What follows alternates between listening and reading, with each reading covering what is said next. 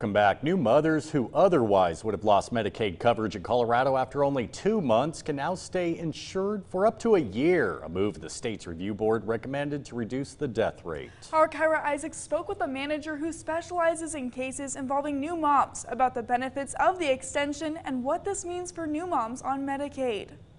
When you have a brand new baby in the household, there's so many things going on. I'm not even sure if you know when 60 days is up. Medicaid plays a key role in promoting the health of new mothers. Covering roughly 66% of all births in Colorado, it's there for new moms and their babies right from the beginning. It's a great program for people who qualify.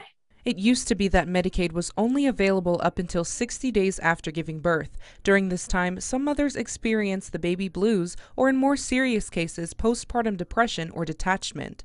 With this new extension, mothers will now be covered for a full year. Sometimes things don't pop up for a little while. So, you know, just having that extra, you know, 12 full months instead of just 60 days, um, I just think it's going to be just such a wonderful benefit extension for folks.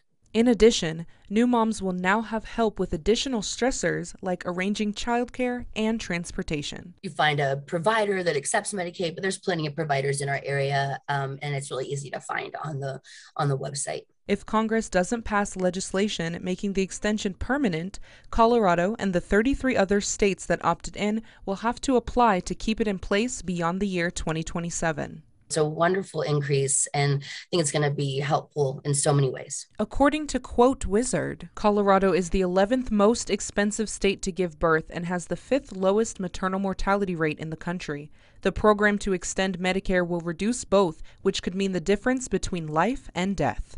Reporting first on the Western Slope, I'm Kyra Isaacs, KREX 5 News.